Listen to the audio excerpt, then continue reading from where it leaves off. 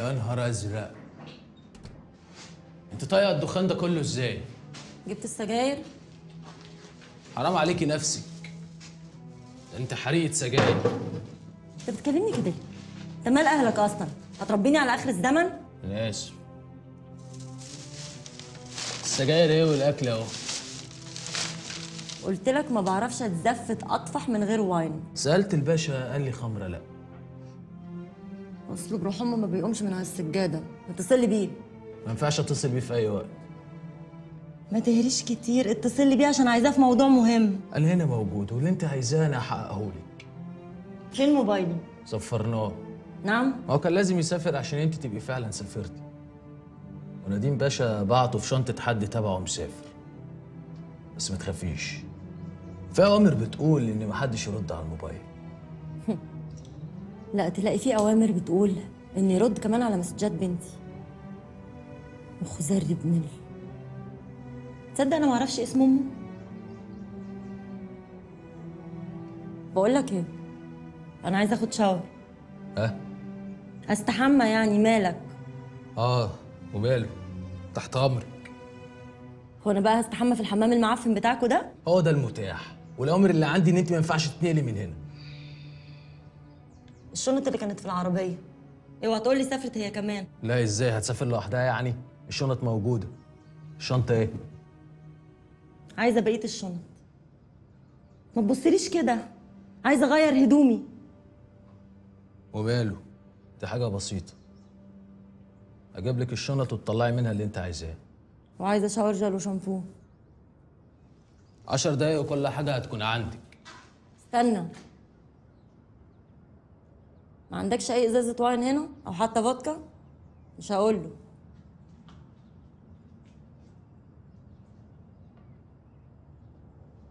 سيبيني أفكر لا ما تفكرش. راحتها وما تقلقش.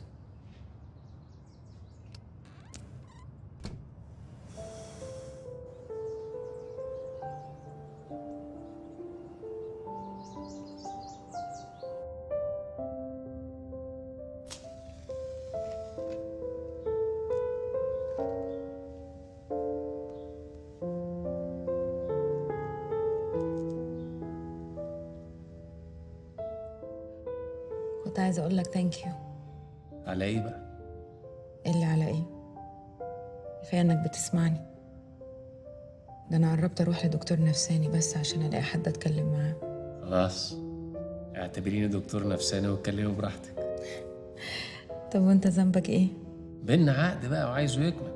مش كل شوية تقولي رايحة أمريكا رايحة معرفش فين. بس أنا فعلا كنت عايزة أسافر. انت مش متخيل ال mood اللي أنا كنت فيه. كنت مخنوقة ومحتاجة اتكلم. بس كلامي معاك طلعني من ال mood اللي أنا كنت فيه. ودي حاجة تبسطني. أوي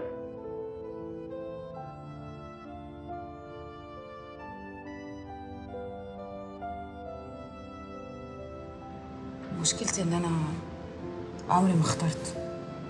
دايما في حد هو اللي بيختار. عشان هو اللي بيفهم وأكبر مني هو اللي بيحب مصلحتي وبيحبني. كل اللي مطلوب مني إن أنا أسمع وأقول حاضر. ده باباكي؟ لا. ماما الله يرحمها. كان كل همها إن أنا أبقى أحسن من مريم عشان هي اللي فضلت هنا مع بابا. وأنا اللي سافرت معاها بعد ما انفصل. أنت عايزة تقعدي هنا طبعا. طب ما قلت لهمش ليه؟ عشان كان عندي أربع سنين بس ساعتها. مش قلت لك عمري ما عرفت أقرر. من أول اسمي لحد ما رجعنا مصر من أمريكا. والمرة الوحيدة اللي قررت أختار فيها فشلت.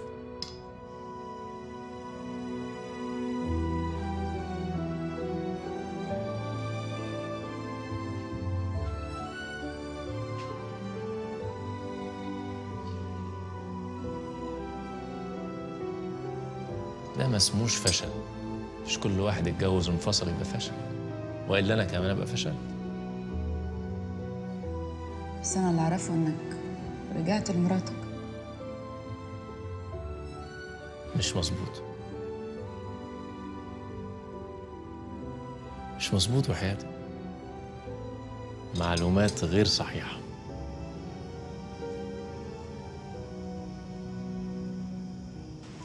الحكاية ابتدت بدكتور سنان وموظفة في السفارة اللبنانية هنا في مصر. سنتها وجعتها وراحت للدكتور وبعد كام مقابلة راحوا عند المأذون. قصدك الشهر العقاري لأنها مش مصرية؟ ما أنا ساعتها ما كنتش لسه اتولدت عشان أعرف التفاصيل دي. المهم إنهم اتجوزوا وجابوا توينز ملك ومريم. وبعد فترة ماما جالها ترقية بس في أمريكا. آه. طبعا الدكتور ما ينفعش يسيب العيادة ويسافر. ومشاكل بقى وحوارات وخناق انتهت بالطلاق. وبأغرب اتفاق ممكن تسمع عنه. هو أخد بنت وهي أخدت البنت التانية. يتقابلوا بقى في الأجازات. ما تفهمش على إيه كل واحد فيهم اختار البنت اللي هتعيش معاه. يمكن عملوا قرعة. يمكن أختي عشان شقية شوية ماما سابتها وخدتني أنا. ما أعرفش. كل اللي أعرفه إني فجأة لقيت نفسي بعيدة عن مريم. واللي فاكراه كويس قوي وعمري ما هنساه. دموعنا وإحنا بنسلم على بعض قبل ما أسيبها وأسافر مع ماما.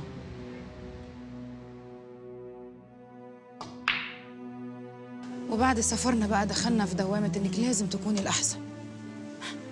ماما كان جواها تحدي إنها تثبت لبابا بأي شكل إنه هيفشل من غيرها. وإنه كان غلطان لما ما سافرش معاها وطلقها. وإنه طبعا مستحيل هيعرف يربي مريم زي ما هي هتربيني. والتحدي ده جه فوق دماغي. بقيت عاملة زي عروسة الماريونات اللي بيمشوها بخيط وما تعرفش تقول لأ.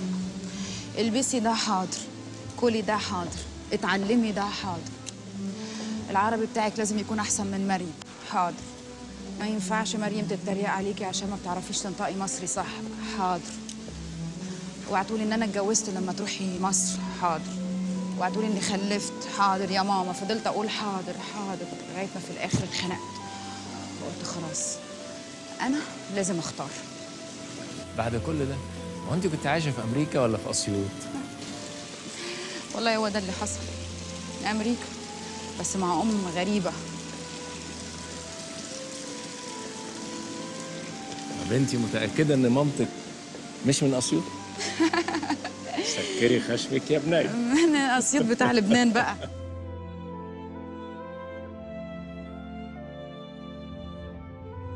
كنت بخلص ورقة في القنصلية في نيويورك. وهناك قابلت حازم بالصدفة. عرفنا ببعض اتكلمنا.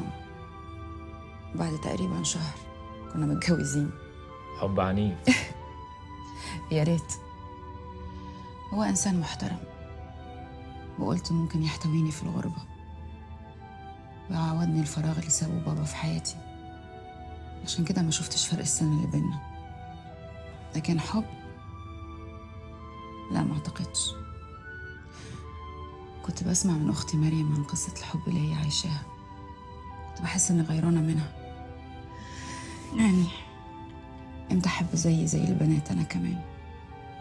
دورت على الإحساس ده كتير. بس ما لقيتوش. وبجوازي من حازم كنت فاكرة إن أنا عايشة حالة حب. بس لأ مش هو ده الإحساس اللي كنت بدور عليه.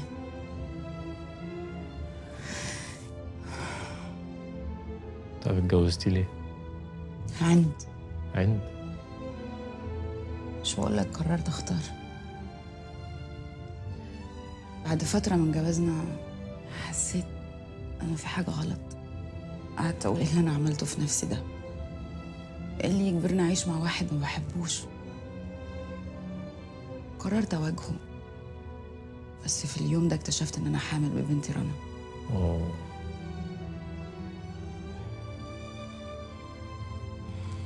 قلت حرام.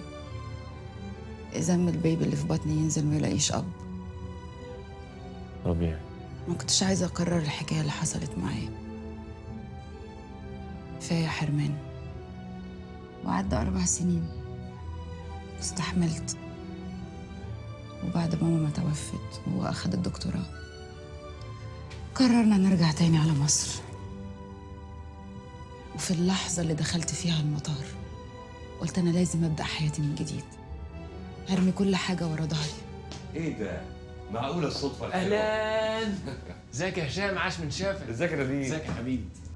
أخبارك إيه؟ أنت فينك أنا هنا يا أخويا أروح فين؟ أنت اللي على طول مسافر وعمالين بنسمع في صفقات وأخبار؟ بقول لك إيه مش ناوي تبيع لي المزرعة بقى اللي كلمتك عنها مليون مرة قبل كده. مزرعة إيه؟ كل واحد فيكم يقابلني يقول لي المزرعة. بعينيكم المزرعة دي. خليني أعرفك. ملك الجرحي بتعمل لنا كل إعلاناتنا دلوقتي. هشام بيه ثابت واحد من أغنى أغنياء العالم. ما تبلغش قوي كده يا نديم ابلغ إيه وأنا اللي بقول. ما فوربس فتحها كل سنة. يا سيدي يعني هي المجله دي بتسيب حد في حاله ابدا. ثانية واحدة. اقعد يا هشام اقعد.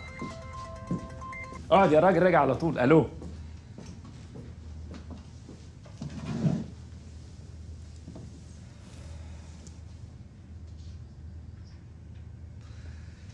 انت عارفة يا ملك هانم انت نسخة طبق الأصل من واحدة كنت بحبها زمان.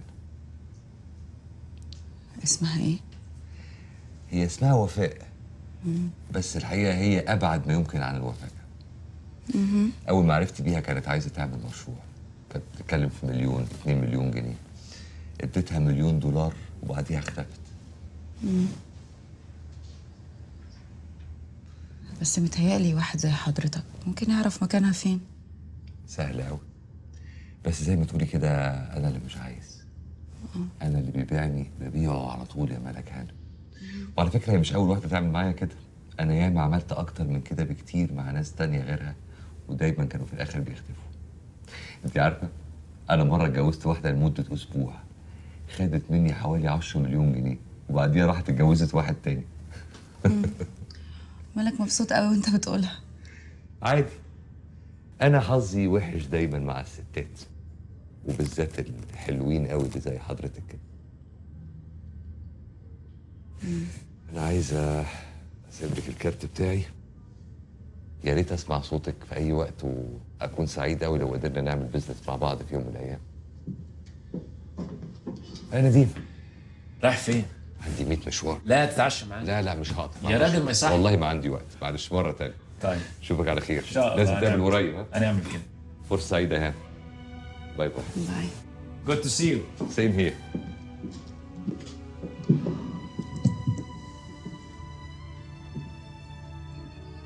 من زمان؟ لا